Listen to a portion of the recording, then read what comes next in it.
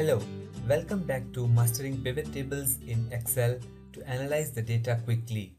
I am your coach Vinai Prakash. In this video, we are going to look at how to create a new calculation, a new computed item or a calculated item. How do we edit these and what are the uses of creating a computed column inside a pivot table. To begin, I have opened the Working with Pivot Tables Excel file.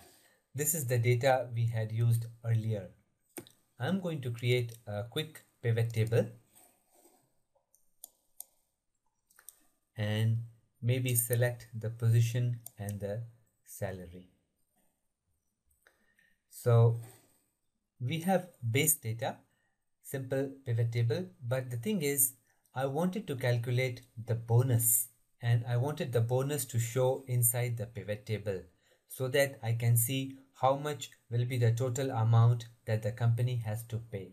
The problem is bonus is not available, only the salary is available.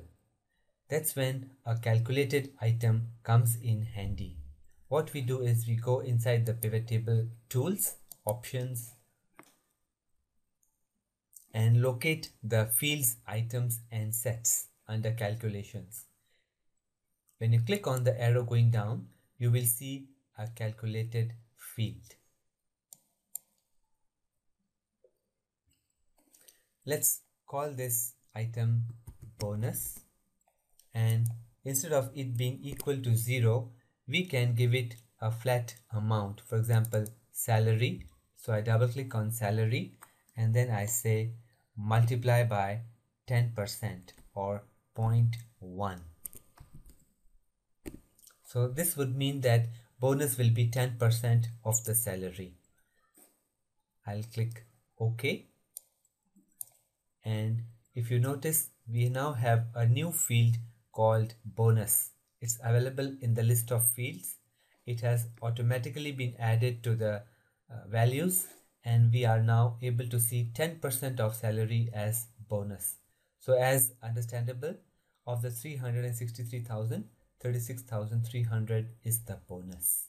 And this is a new computed item which is not available in the base data and yet we are able to work with it. Now the interesting thing is we can get rid of the salary and bonus will continue to be listed. Further, we can now play with bonus in different ways. For example, now I have brought in the gender. We look at this by, not by division, remove the position. And so we can see how will be the bonus for females and males, for people from admin department and from sales department. And all along we are able to see, slice and dice the data in different ways from something which was not even available in our base data. That's the advantage of creating a computed or a calculated item. So if you don't want it, we can anytime get rid of it by clicking on the calculated field. Notice here that it always starts from the first a new inserting a new calculated field. But if you want to edit one, you can click on the arrow going down we pick up bonus and it shows you the calculation. If you're done with it, you don't want it, we just click delete. And voila, there's no more bonus. So as you can see now, bonus is gone and I can bring back our own salary only now.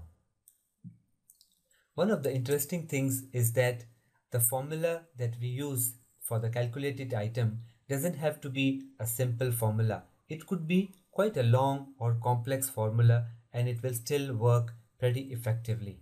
For example, if we create bonus, but the condition would be that bonus will depend on the annual salary. If the salary is more than 20,000, so we can give a condition if salary double click here is greater than is less than 20,000 then we will give a 10% bonus. Otherwise we will give a 5% bonus. So we calculate 10% or 5% and then we will multiply it by the salary itself. So now bonus is if the salary less than 20000 you will get a 10% bonus. If the salary is more than 20000 you will get a 5% bonus. That's it. Click ok.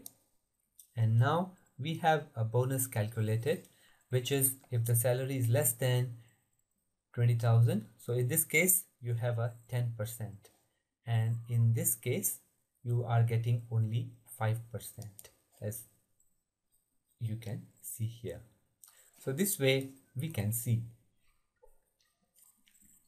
so in this way calculated items are extremely handy for doing simple calculations now one very simple way is to click on list formulas. When you click on list formulas just once it will create a new sheet and here it will list that the field called bonus and this is the formula being used here. So in this way if there are many formulas you don't have to go to each pivot table and then click on the options to figure out what's the formula here. Because the earlier method I showed you is a long method. But by listing all the formulas in one place you can then make it easy and you can see all the calculations not one by one. So remember this available under list formulas